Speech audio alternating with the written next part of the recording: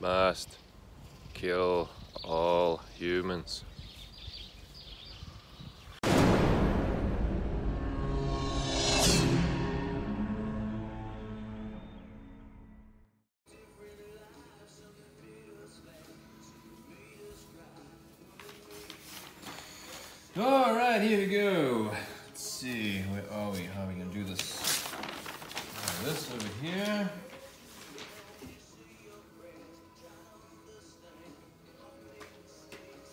Just a man.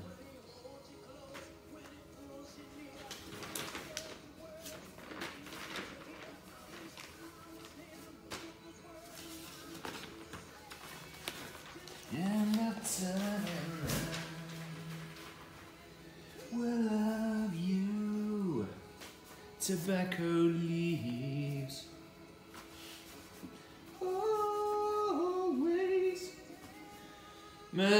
Such a time consuming chore.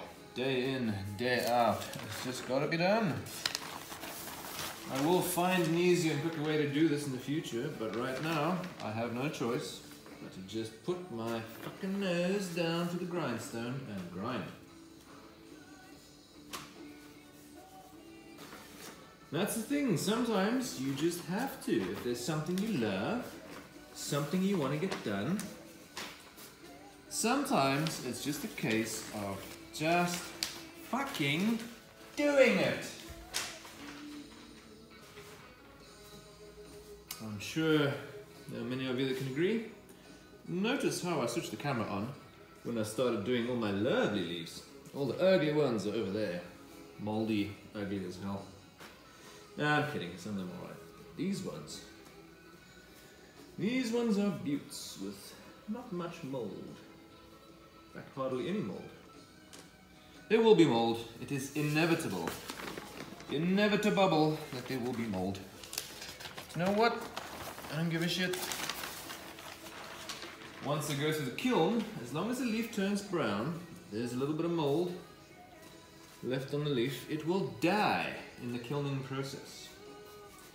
You just can't let the leaf become like completely fucking rotted away. When it gets too moldy and there's no hope, then you toss the leaf. Let's give you an example. This one, too moldy, too many black bloody marks that won't come up. Got my vinegar solution, I've been dabbing and wiping and trying to kill the mold. And it's just a no-go. This one is just destined for the compost heap. So no, not today, sir.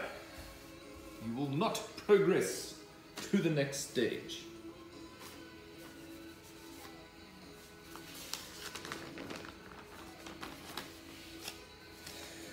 Gosh, it's hot. It is. 75% humidity. That's the highest I've ever seen it here. 23 degrees. Almost 10 o'clock at night. It's gonna be another hot, hot night. The heat is not uncommon. That's the humidity. We had a thunderstorm today. That's why.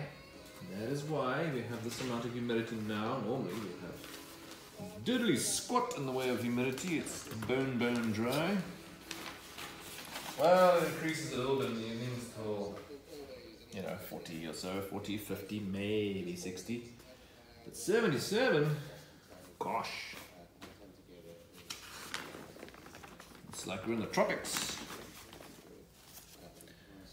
Oh, what do I do with my beer? Oh, there you. Oh, thank goodness. Thank goodness. Oh. Sweet, sweet beer. It all comes together with a castle. Bicep flex. Mm. Ah, there we go. Give me the strength. Carry on. Another five minutes.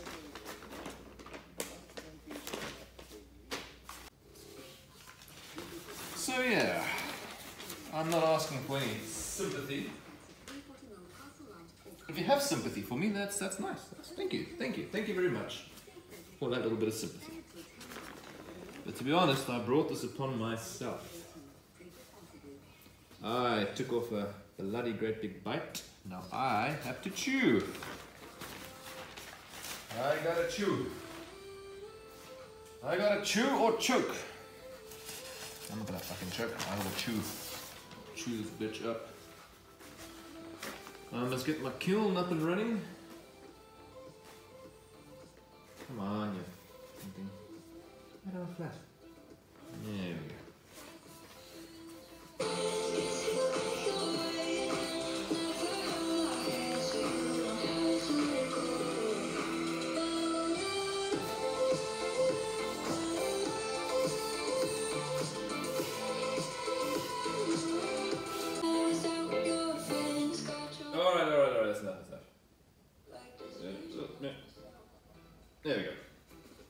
me show you some good leaves. This is Little Dutch. These ones are cured. Don't want you guys getting too bored. I mean, it's nice of you to come and watch me, but uh, I've got to give you something. Yeah, that's going to go through the kiln, once that's fermented, it smells like a little bit raisiny, but I, yeah, you wouldn't want to smoke that. That's got too many horrible compounds in there that will taste disgusting.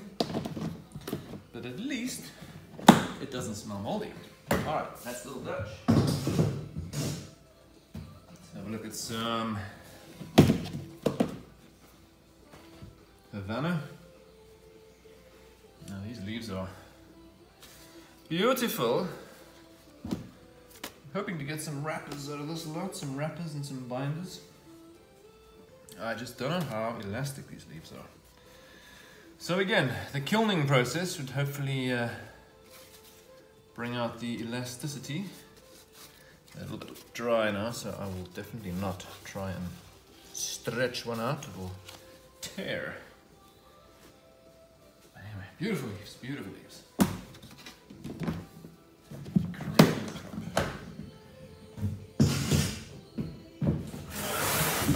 One is, uh, yeah, I read it on there somewhere. Habano, Habano, Habano 2000. Habano 2000. Some of them are quite light actually. Yeah, there we go.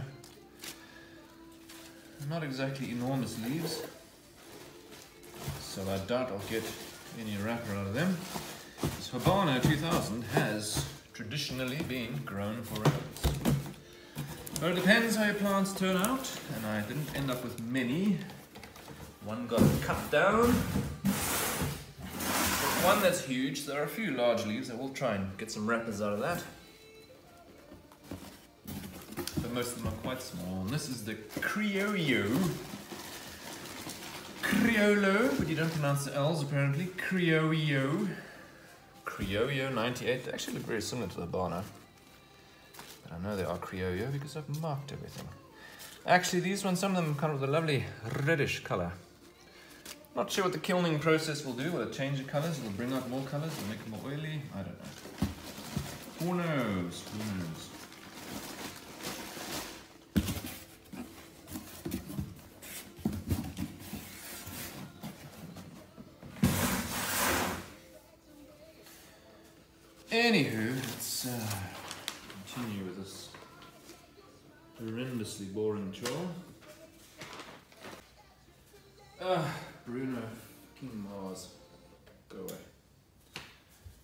Thanks for stopping by and listening to my yapping. You guys are keeping me from going insane, but I think uh, I'm gonna switch this off now and power on without you guys. Uh, no offense, but I'm gonna bore you. It's just the same old, same old, so um, yeah. Alright, we'll catch up in a bit. Oh, somebody is frisky this morning.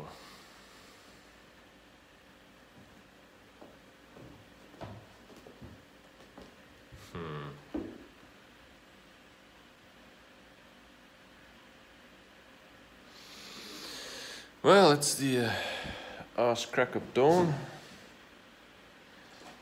I gotta make myself a coffee. Can see I'm wearing my nice shirt.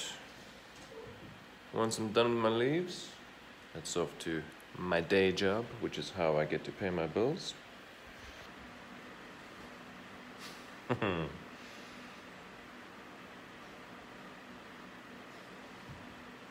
yes. I wish I had your frisky energy in the morning. But I don't. So it's off to the kettle to make some bean juice. Some brown bean juice. Turn me from a zombie into an actual functioning person.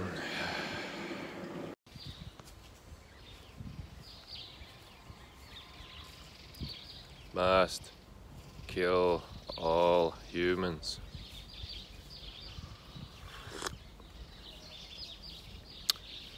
Hmm.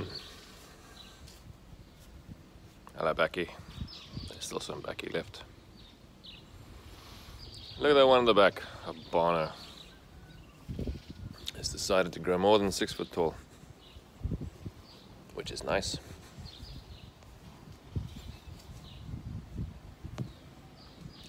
See where I bagged the flowers? Uh, and then it's shut up even further. It's taller than me now. Craziness. Have a look at my garden in the early morning sunlight.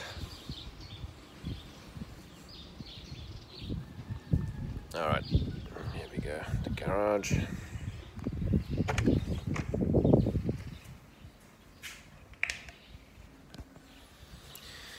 Well, you guys were here last night, so I don't need to show you the whole process of me putting leaves in between newspapers anymore. Uh,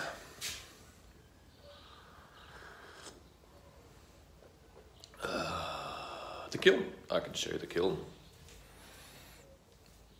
Let me just get the lights on again.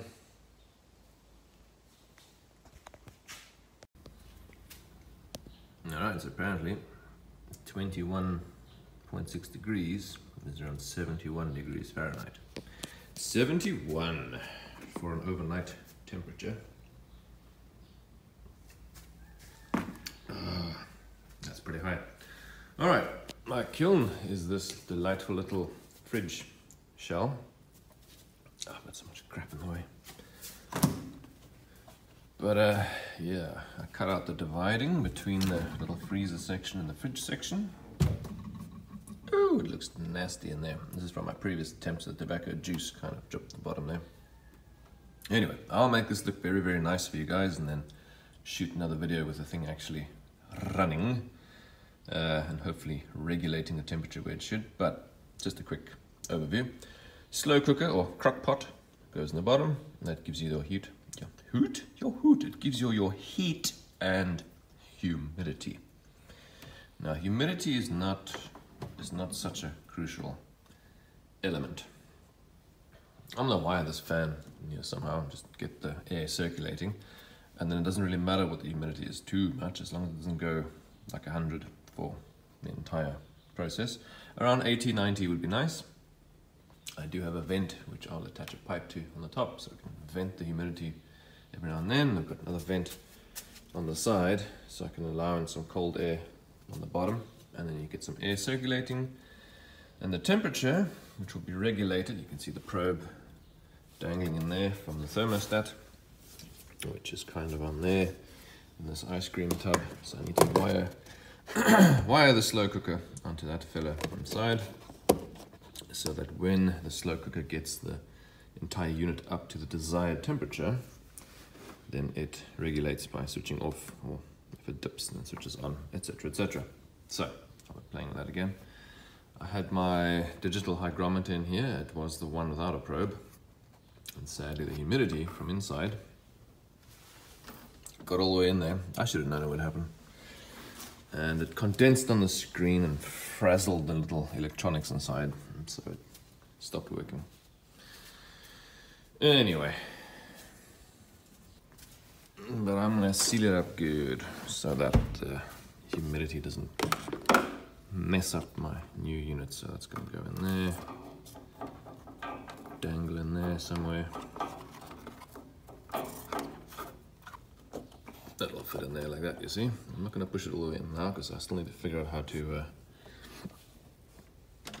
I'm probably just going to fill up this cavity completely again and seal it off and still allow the probe to dangle in there. Anywho, that's a quick overview of my kiln. So sometime this week, I'll get my act together and I find a bit of spare time. I will start working on that. All right.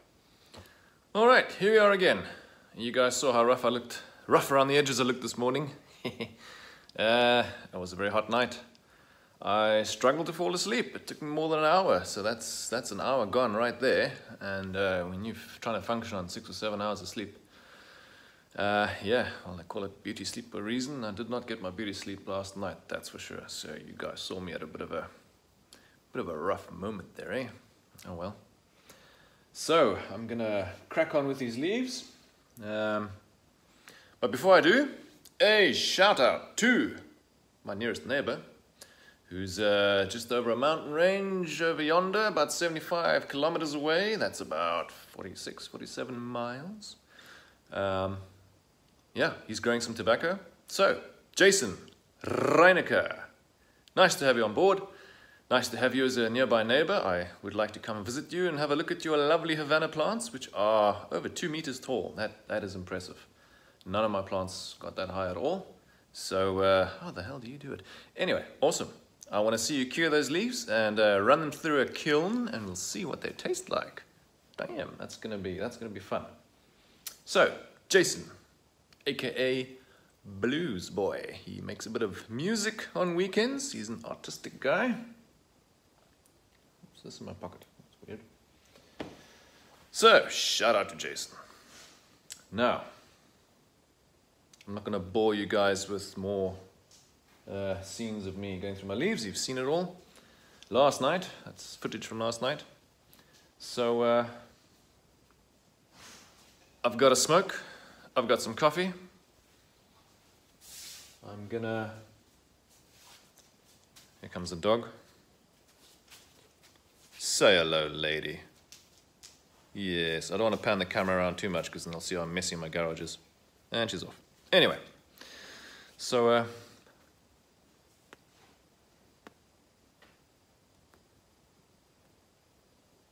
thank you very much for stopping by. It's always nice to share a part of myself and a part of my process and let you guys know what I'm up to. Thanks for stopping by, and I will catch you guys in the next vid. I will definitely make a more interesting and exciting vid of my kiln when it's finally up and running, but I do need to test it. Make sure those temperatures hold steady, uh, especially before my leaves go in there. Uh, everything needs to be just right. So uh, I will catch you guys then. Cheerio!